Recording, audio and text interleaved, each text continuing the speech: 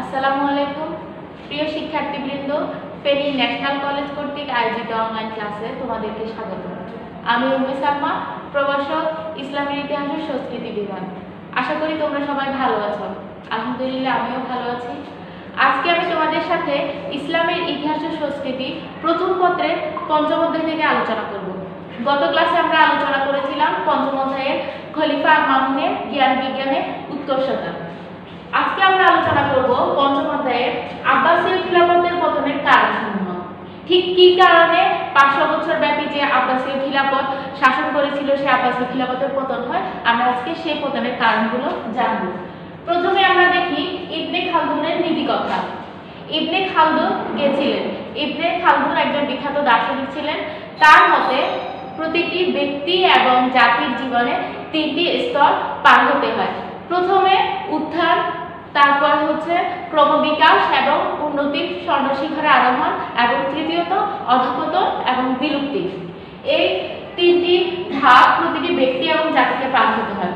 কোনো জাতি বা কোনো বংশই একশো বছরের বেশি সময় ক্ষেপণ করতে পারেনি। একশো বছরের অধিক তারা শাসন করতে পারেনি। তেমনি আব্বাসীয় খিলাফতের ক্ষেত্রে সেটি ব্যতিক্রম হয় আমরা দেখ- যদিও আমরা দেখি যে আব্বাসীয় খিলাফত সাতশো পঞ্চাশ থেকে বারোশো আটান্ন খ্রিস্টাব্দ পর্যন্ত প্রায় পাঁচশো বছর শাসন করেছিল।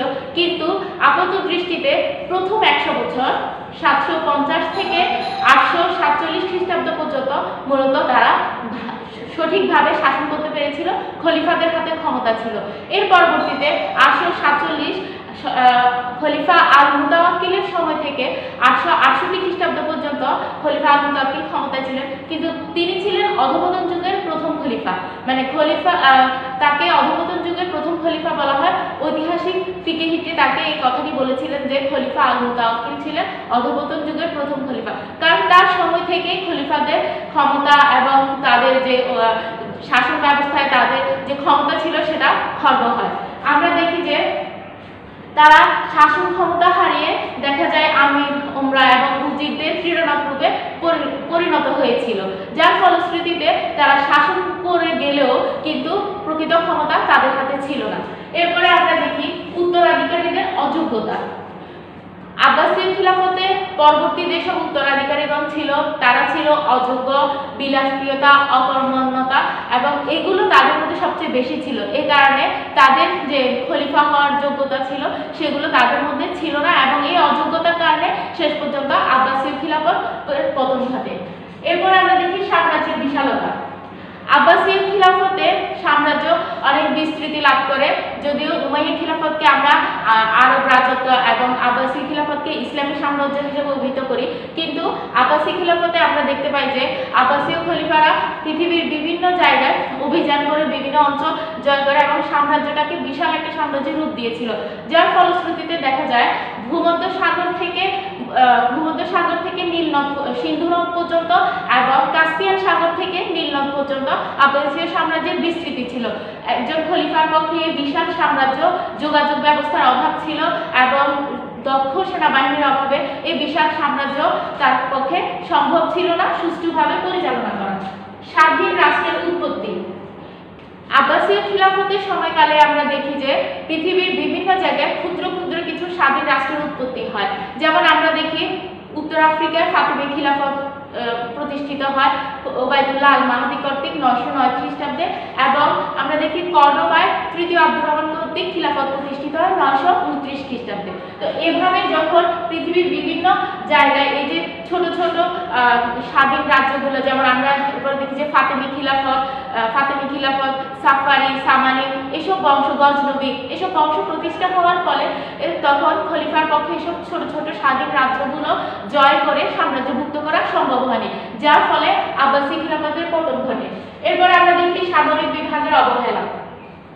উমাইয়া রাজত্বে সামরিক বাহিনী অনেক বেশি সুসংগঠিত এবং শক্তিশালী ছিল। কিন্তু আব্বাসীয় সাম্রাজ্যের ক্ষেত্রে আমরা দেখি যে আব্বাসীয় সৈন্যবাহিনীতে বিভিন্ন ধরনের জাতি, গোত্র, বর্ণ, ধর্মের সৈন্যবাহিনীর প্রভাব ছিল এবং বিভিন্ন ধর্ম, ধর্মগোত্র থেকে তারা সৈন্যবাহিনীতে যোগদান করেছিল। যার ফলে সামরিক বিভাগ ততটা সুসংগঠিত ছিল না। এখানে আমরা দেখি যে বিভিন্ন গোত্র, শ্রেণি লোকজন যখন সেনাবাহিনীতে যোগদান করেছিল, তখন সেনা- সেনাবাহিনীর ক্ষমতা এবং শক্তি হ্রাস পায়। এরপর দেখি সুষ্ঠু মনোনয়ন নীতির অভাব। আব্বাসীয় খলিফাগণ তারা, তাদের সুষ্ঠু মনোনয়ন নীতির অভাবে পরবর্তীতে ক্ষমতা নিয়ে আব্বাসীয় খল- অন্যান্য আব্বাসীয়দের মধ্যে সম- সমস্যার সৃষ্টি হয়। কারণ উত্তরাধিকার নীতির অভাবে তার ভাই, ভাইয়ের দ্বন্দ্ব কিংবা চাচা, ভাতিজা দ্বন্দ্ব এবং পিতা পুত্রের দ্বন্দ্ব এই জিনিসগুলো আমরা দেখি। এগুলোর মাধ্যমে সুষ্ঠু মনোনয়ন নীতির অভাবের কারণেই হচ্ছে উত্তরাধিকার যে, কে উত্তরাধিকার হবেন কার কে ক্ষমতা আসবেন এটাও একটা কারণ ছিল তাদের পতনের।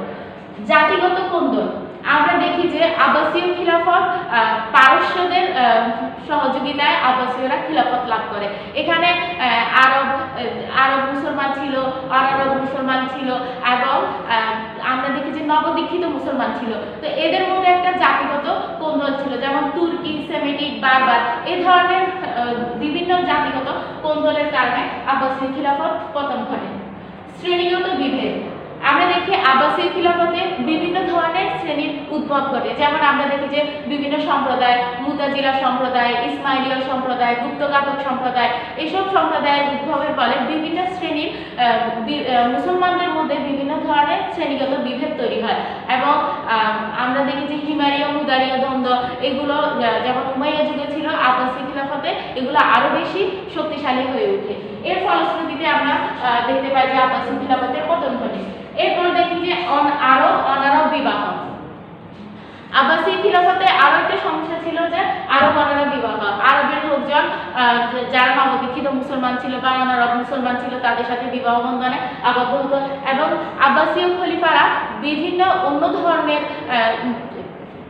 অন্য ধর্মের নারীকে বিবাহ করে তাদের রক্তের আভিজাত্য হারাতে থাকে এবং তাদের ক্ষমতা খর্ব হয়।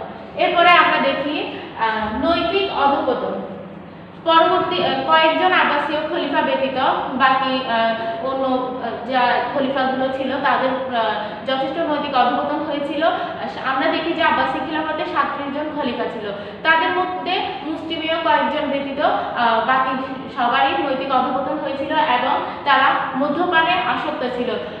অনাচার এবং অশালীন আচরণে তাদের ক্ষমতার উপর সেটার প্রভাব পরিলক্ষিত হয় এবং পরবর্তীতে তাদের খিলাফতের পতন ঘটে।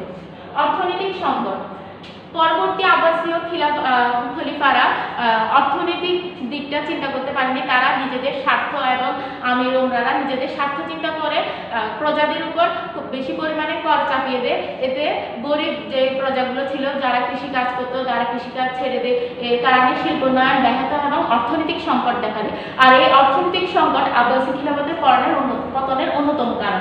এরপর আমরা দেখি যে আমিরুল ওমরাদের অধ্যত আব্বাসীয় খিলাফতে প্রথম একশো বছর যদিও খলিফাদের হাতে ক্ষমতা ছিল, কিন্তু পরবর্তী খলিফা আবু তাওয়াক্কিলের সময় থেকে ক্ষমতা খিলাফতের আমিরুল উমরা যারা ছিলেন তাদের হাতে ছিল। তাদের প্রেরণারূপে খলিফাকে পরিচালিত হতে হতো। আবার কখনো কখনো দেখা যেত রাজমাতা রাজকার্যে হস্তক্ষেপ করছেন। এরপরে আমরা দেখি যে প্রতিদ্বন্দ্বী খিলাফত। প্রতিদ্বন্দ্বী খিলাফত আব্বাসীয় খিলাফতে আমরা দেখি যে আব্বাসীয়দের তারা পাঁচশো বছর ব্যাপী যে ক্ষমতা পরিচালনা করেছিল, শিল্প, সাহিত্য, সংস্কৃতি এবং বিজ্ঞানে তারা অনেক বেশি উন্নতি লাভ করেছিল। কিন্তু এই আব্বাসী খিলাফতে প্রতিদ্বন্দ্বী দুটি খিলাফত, যেমন আমরা দেখছি ফাতিমি খিলাফত উত্তর আফ্রিকায় ওবেদুল্লাহ আল মাহাদি কর্তৃক প্রতিষ্ঠিত হয় এবং কর্ডোভায় তৃতীয় আব্দুর রহমান কর্তৃক খিলাফত প্রতিষ্ঠিত হয়। এই ধরনের প্রতিদ্বন্দ্বী খিলাফতগুলো হওয়ার কারণে আব্বাসীয়দের আব্বাসীয় খলিফাদের ক্ষমতা খর্ব হয়।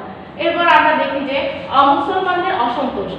আব্বাসীয়দের বিভিন্ন ধর্মীয় নীতির কারণে অমুসলমান যে সম্প্রদায়গুলো ছিল, তাদের তারা আব্বাসীয়দের উপর যথেষ্ট বিরক্ত এবং বিরূপ মনোভাবের সৃষ্টি হয়। আর এই অমুসলমানদের অসন্তোষ এবং প্রজারা যখন আব্বাসীয়দের খিলাফতে, খলিফাদের প্রতি সন্তুষ্ট ছিল না, তারা তাদের এই অসন্তোষ, অসন্তোষের কারণে শেষ পর্যন্ত আব্বাসী খিলাফতের পতন ঘটে। বহিঃশত্রুর আক্রমণ ও ক্রুসেড যখন ইসলামী সাম্রাজ্য প্রতিষ্ঠিত হয়, তখন আব্বাসীয়রা যখন ক্ষমতায় অধিষ্ঠিত হয় বাজান্তাইনদের একটা বৈরী মনোভাব বারবার পরিলক্ষিত হয়েছিল। কারণ তারা যখন আব্বাসীয় খলিফারা অভ্যন্তরীণ গোলযোগ দমনে ব্যস্ত ছিল, তখন বাজান্তাইনরা বারবার আক্রমণ করে এবং আব্বাসীয়দের ক্ষমতা হ্রাস পায়। এরপরে আমরা দেখি যে হালাকু খানের বাগদাদ আক্রমণ।